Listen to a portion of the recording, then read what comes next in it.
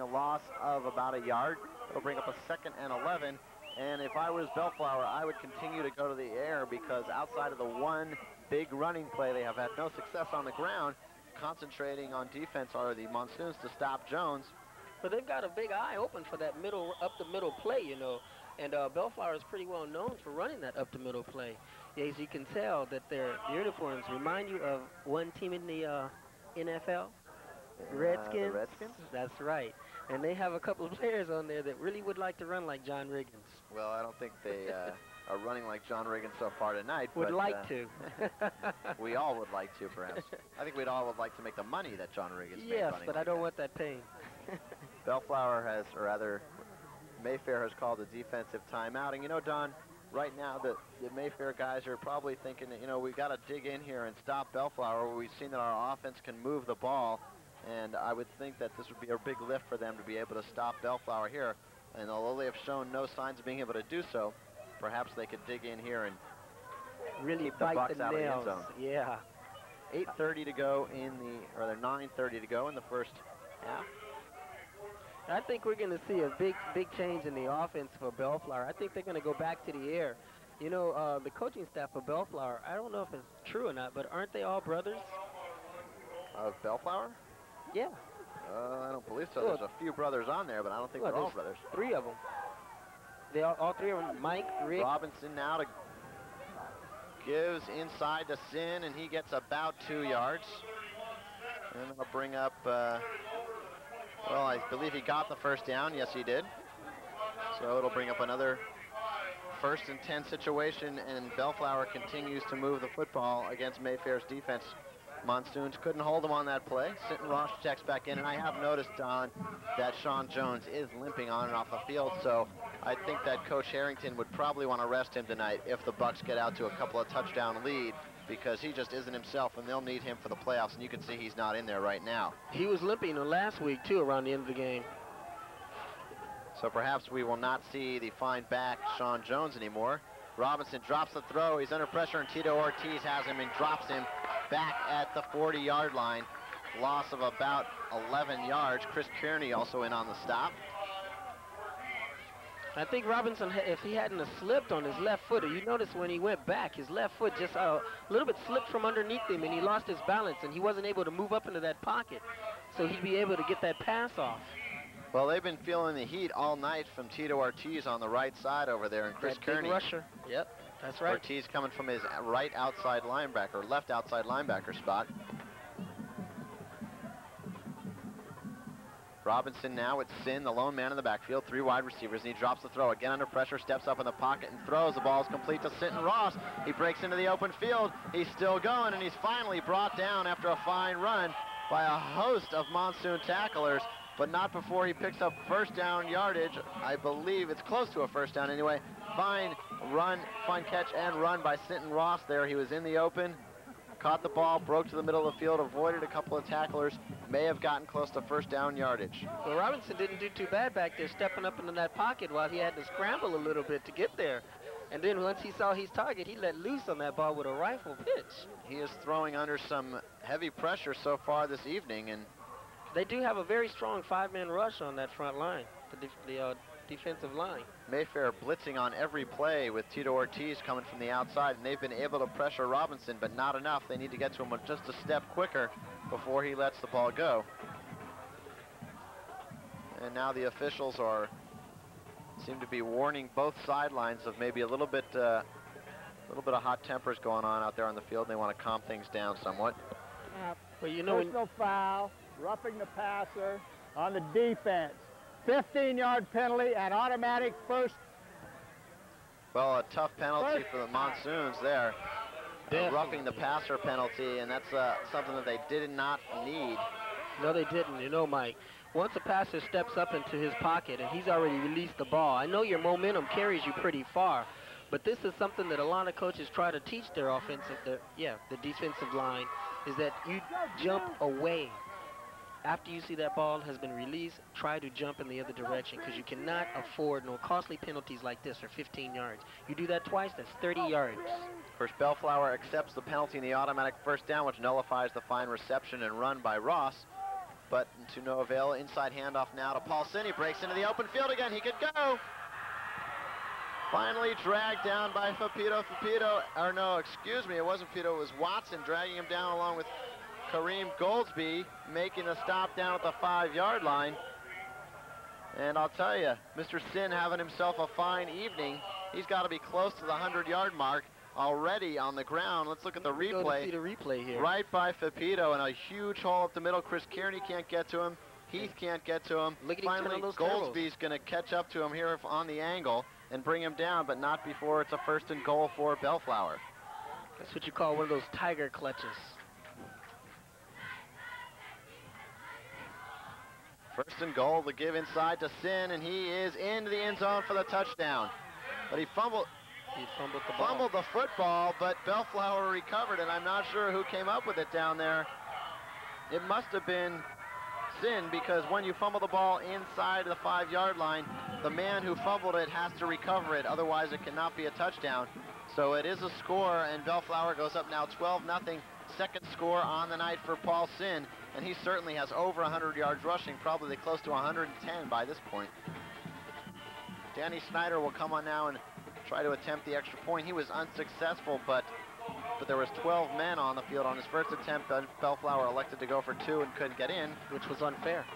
So we'll see if they go for two here or just the extra point. They are going to go for two to try and make up for the miss the first time down there. Robinson at quarterback, and we'll see what the Bucks do. And now he's going to call timeout and maybe think better of it. He looked over the Monsoon defense and perhaps didn't like what he see. And let's stay right here and see what the Bucks are going to do with it. You know, it looked to me when he was carrying the ball across the goal line, it looked like his knee was down first. Correct me if I'm wrong. Well, I believe he had run over one of the tacklers is what he did. He ran right over Eric Mitchell over there. And I, I think that's what pretty much kept him from hitting the ground.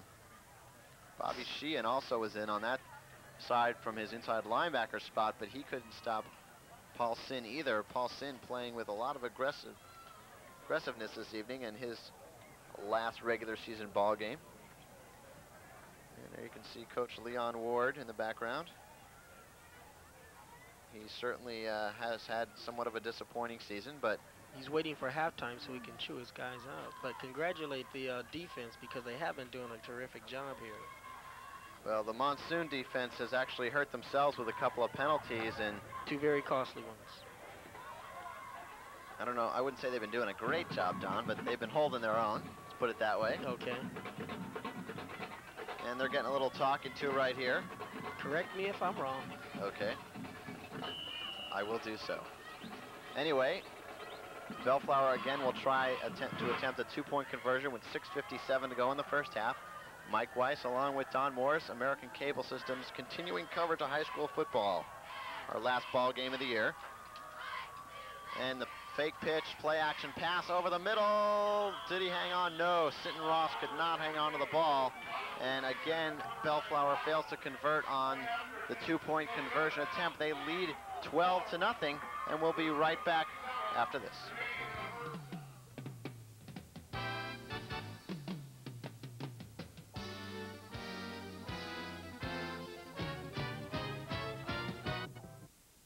Go in the first half. Bellflower trying to up their record to 7 and 2. Mayfair looking for a way to end their season on a bright note by being their crosstown rivals. They come into the game with a 3 and 6 record. Thomas Mann kicks it off deep, and Maurice Morton with the ball at the five-yard line. He's to the 20, the 25, the 30, breaks to the outside, trying to get away from Cedric Robbins, gives him a straight arm and gets by him, but not too much further. He stopped there. Kevin Lazard, and now we got another penalty flag down, and we'll see that might not have been a face mask penalty. Came in awfully late, so it's got to be some type of a personal foul. And we'll see what the call is from the official.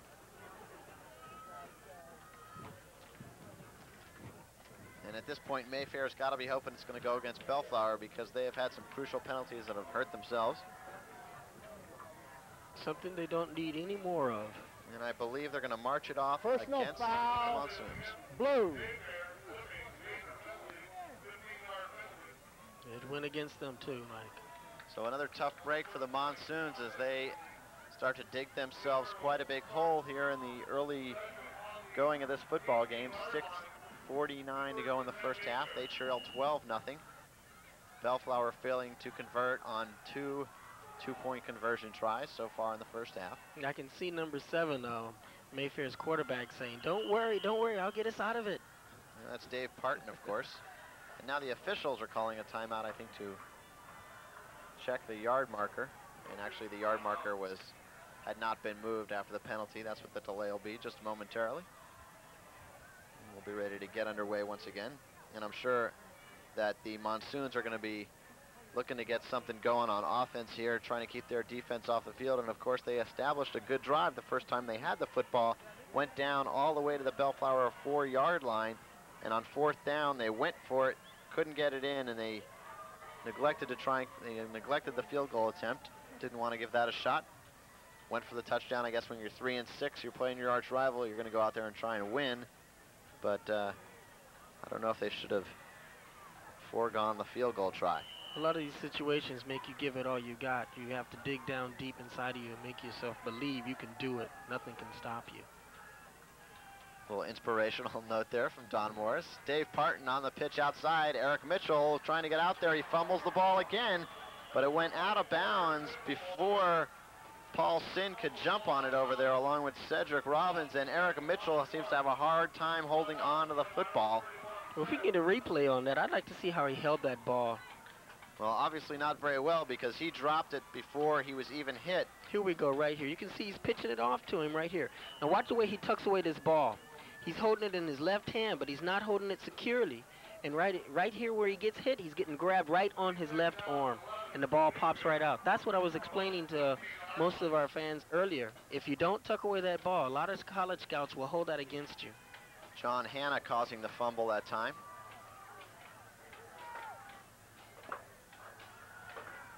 Second and 10 for the Monsoons. They trail at 12 nothing. Inside handoff to Heath, and he goes nowhere. Maybe a yard. Probably nothing, though. Paul Sin on the stop. Robert McPherson also on the stop that time for the Buck defense, and there you can see him right there, warming up for the playoffs. And they will find out Monday afternoon, of course, who they take on in the first round. Even if they should lose tonight, they would most likely get an at-large or wild card berth with a six and three record.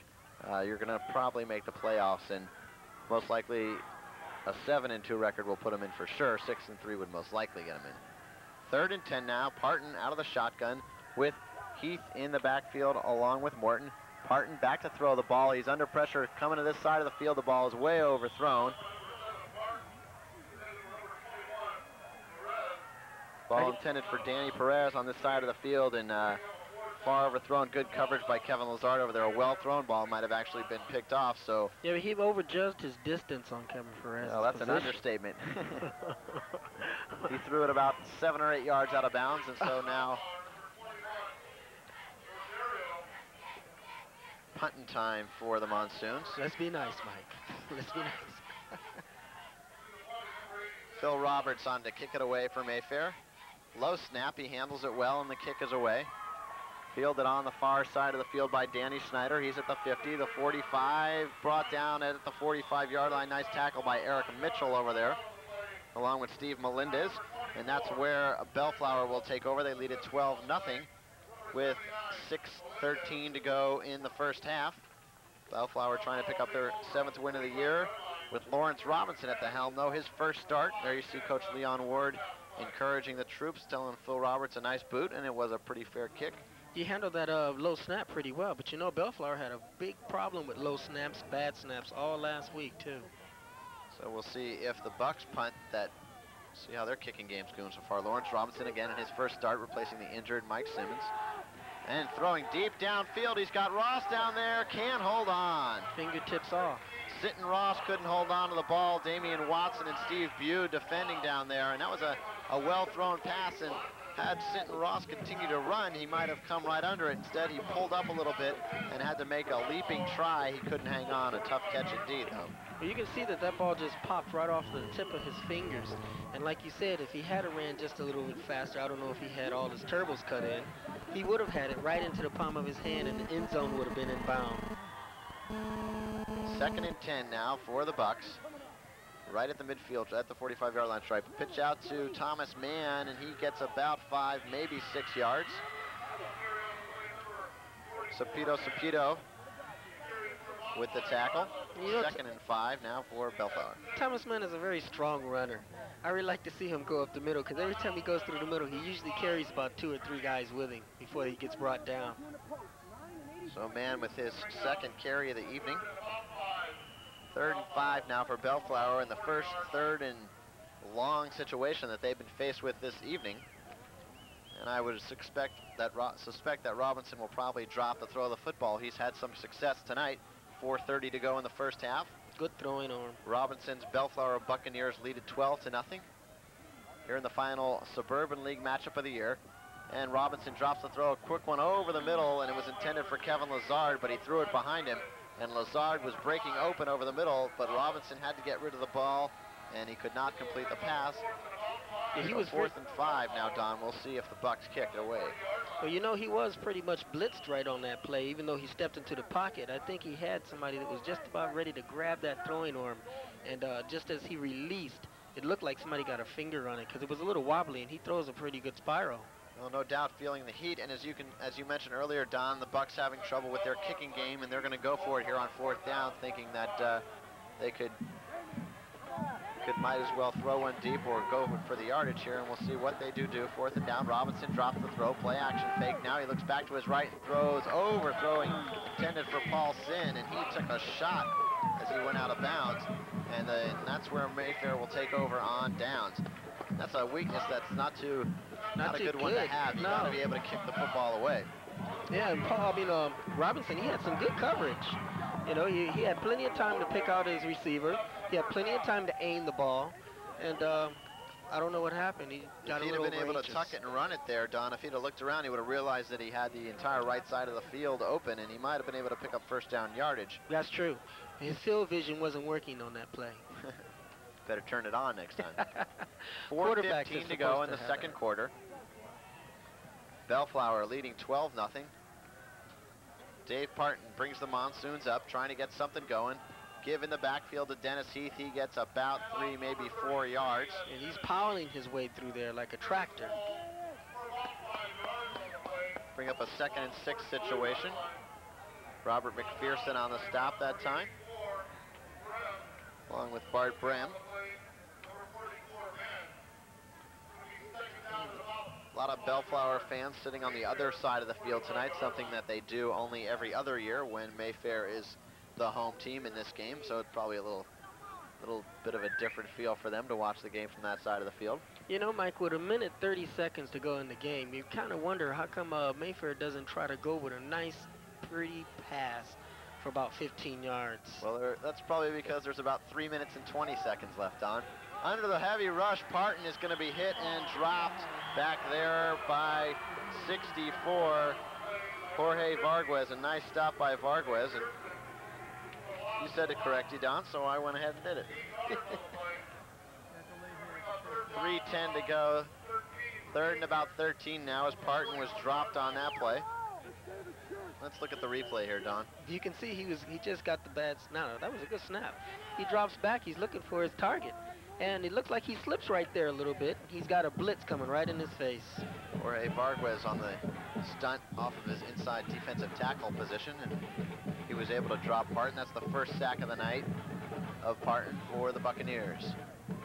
2.40 to go in the first half. Mike Weiss along with Don Roberts.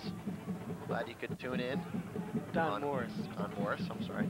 It's a combination of Don Morris and Nick Roberts. Nick not here tonight. Parton to throw out of the backfield. He swings it to Maurice Morton. He picks up about 10, 11. Now he's knocked out of bounds right at about the first down marker. A nice little screen pass. Oh, good throw. Good throw. Good run. And I believe he has first down yardage. Thomas Mann on the stop along with John Hanna, but not before Morton was able to pick up first down yardage. Let's look at the, oh, that's not the right replay. That's the one before. Here you go, the screen pass to Morton. Right behind the yard of scrimmage, you can see where Morton's turning upfield now. He sees he's got some air. He says, "I'm going to go down the sideline here. I can I can run a tightrope." But he's got that tiger claw right on his back, and he's brought down by two of offend I mean defenders. Thomas Mann with the stop that time for Bellflower. Parton turns and gives it to Eric Mitchell out of the backfield. This time Eric holds on to the football. Gain of about three. It will bring up a second and seven. 2.10 to go in the first half. 12 nothing Bellflower. And I'll tell you, Don, if, if Mayfair could put a quick score on the board here, that'd give them a lot of momentum going into halftime. Oh, man, would it? it would make the game a lot more interesting. You never want to see us a one-sided game Especially, especially, when you have two good players, I mean, two good teams. Especially your last game of the year, possibly the last of your career if you're a Mayfair player. And again, Eric Mitchell with a big hole up the middle, and I believe he's going to be very close to first down yardage, perhaps a yard short. Mitchell, lightning quickness out of the backfield he's shown so far, but he hasn't been able to hold on to the football. But you can see 66, he's very good. 66, he's, he's, he's very good at having that bear trap. You know, when a, when a player runs right past him, he can take his arms and he can just grab both of your legs together and bring you down with no problem. Well, that's Greg Lucero. He's also the offensive center for the Buccaneers, and he's playing a fine football game defensively tonight. However, the Bucks have shown some weakness against the run here, and again, there's Martin up the middle, and that time, McPherson and Lucero on the stop, and I don't believe Martin got the first down and they're going to have to measure with a minute to go exactly in the first half, and actually Bellflower is going to call a timeout. It's going to be real close to first down yardage. Let's see if he got it. There you can see Maurice Morton explaining to Eric Mitchell what to do on a play like that in short yardage, and he says, hey, babe, you got to put your head down and go forward. You can't run into a play like that straight up because they're going to be able to stand you up and stop you from where you want to go. And there you can see, Don, about a yard probably to go for the first down. Yeah, I suspect that they're going to try to take it. Lucero, though, he's something that he's somebody that you really have to watch because see, he waits at home for the play to develop, and he waits for that runner to come right up the middle, and that's why he is a very good defender in the center position. Like I said, he's got those bear trap arms. He's big, you know, 215 pounds. He can fall on anybody and make them lose their balance. He's got to get there first. but he has played a... As long as the play comes his way, he doesn't have to go too far. Yeah. He has played a good ball game so far tonight from his defensive tackle spot. And that's one thing we'll be looking at for the rest of the evening, Paul, or Don. I have a lot of different names in my vocabulary tonight. is who will be the MVP of tonight's ball game, and certainly Lawrence Robinson would have to be an early candidate. Paul Sin has had some great numbers on the board so far, so maybe those two guys are going to be putting, or one of those two guys will be putting another trophy on the mantle. Minutes ago in the first half, Mayfair trails Bellflower 12 to nothing, but the Monsoons here with a crucial fourth down play, the turn and the give inside, he pops open, and that's uh, Dennis Heath. He's all the way down to the 27-yard line on the quick hitter off the right side of the line, just running behind Flood and Griff Belleville and he bursted open for 16 yards at a first down. Let's look at the replay, Don. Oh, they have the same little... Okay, you, can, see, see where Dennis comes right up the middle. He just blasts right through there. Turn on those turbos, and I'm going to hit these two backfield defenders. Awfully reminiscent of the play Sin scored on where he just popped out of there for Bellflower, and there was nobody out there. Luckily for the Buccaneers, though, they had a couple of defenders back deep. Yeah, staying home and waiting for the play to develop. That always works, especially when you have somebody with twin turbos like that. Full house backfield for the Monsoons. Parton turns and gives on the same exact play. This time it's Morton, though, and he pounds down to the seven-yard line before he's dropped by Kevin Lazard. And Lazard doesn't have much to say to Morton, so two plays in a row, the Monsoons run that trap right behind the right side. Rob Flood and Griff Belleville opening a huge hole over there. Look at the quick replay. You can see Belleville and Flood right there opening the Same big hole. Same play, the big hole. And there goes the turbos again. And he runs right there, and he missed the and bear back trap. to the action now. Parton rolling out. He's going to be oh. stopped by Thomas Mann off the play action. And now the Monsoons are going to be forced to call their last time out of the first half with 18 seconds to go. You think they might have tried to gone to the air there, but Parton tried to bootleg it around the, the right side. He couldn't get in. Thomas Mann stayed right with the play and made the tackle. I'm pretty much convinced that Mayfair is a ground running game, uh, has a ground game. Well, Parton hasn't shown much in the air so far tonight just uh, two of four on the evening. But we'll see what they choose to do on this next play. One thing I wanted to touch on a little earlier, Mike. You notice on those two uh, those two uh, up the middle plays that Martin just did. You notice how he was holding onto the ball so tight, and even though the player, the defenders, they grabbed him right on the arm where he was holding that ball, he didn't release until he got up and let the guy have it. Well, Maurice Morton is a strong guy, and unlike Eric Mitchell, who is a, a somewhat smaller in build and a lot quicker than Morton, he likes to have the ball out there where it doesn't obstruct his running, you know, the way his motion is. And Mm-hmm. Morton just says, hey, I'll run you over. That's right. He'll head straight for you, and he say, "Hey, you're in my way. I'm coming through." So with 18 seconds to go, first and goal on the six-yard line for Mayfair, and they really need to take advantage of this opportunity right here. And Don, they have no timeouts left in the first half, so if they can't get it in on this play, I would think they would come back to the line of scrimmage and throw the ball into the ground, try and get the field goal unit out there for a field goal attempt. Having bypassed a shot at a field goal early in the first quarter after a nice drive, That would be the thing to do. we'll But see I- what Dave Parton does here on second and goal from the seven-yard line. Look for a strong run. Parton drops the throw, looking, dropping over the middle into the corner of the end zone. It's incomplete. Ball intended for Danny Perez, and he couldn't hang on over there. That ball came out of a shotgun, Mike. You can see where it just hit off his uh, top shoulder pad. I think it was his, his left shoulder pad. And the ball popped right up out of his hands. The third and goal, the ball sits on the seven-yard line, on the Bellflower seven-yard line. And you can see the official placing it down, maybe the seven and a half or close to the eight is what separates the Mayfair Monsoons from their first score of the night. There you can see the clock, 14 seconds left. 12 nothing Bellflower. Mayfair trying to get on the board and make it a close game going into half with the momentum. Parton rolling the throw, throws into the end zone, touchdown! Perez with the catch.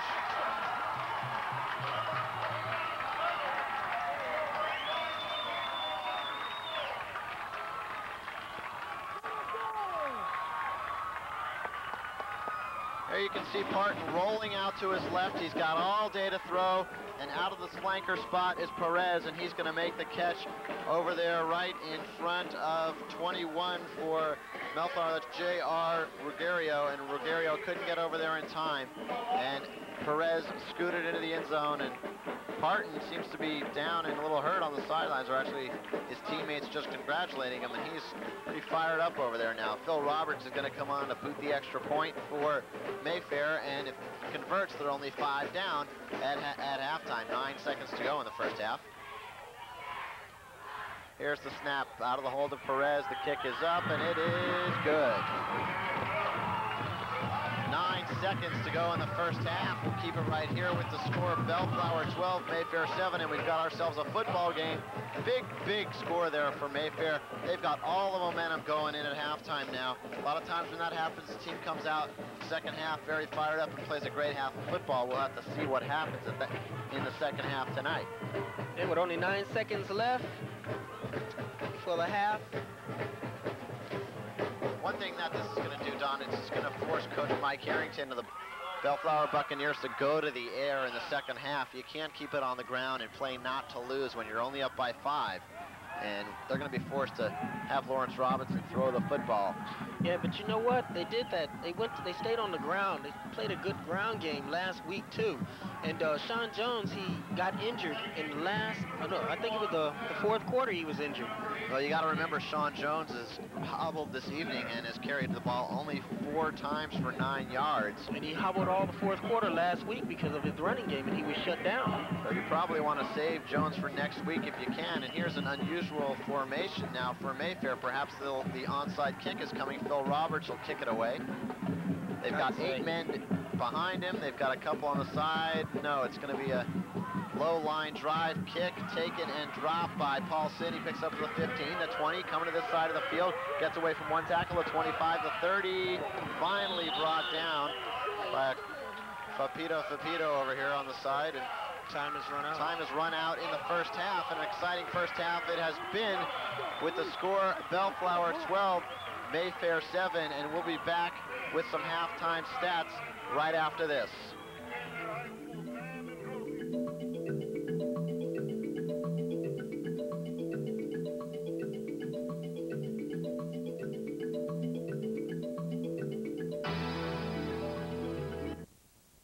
Adds floor covering, serving the mid-cities with the finest in floor and window covering since 1945. Your local Armstrong Floor Fashion Center by Holly's Brakes. Holly's Brakes where you get safety and lasting quality at a reasonable price.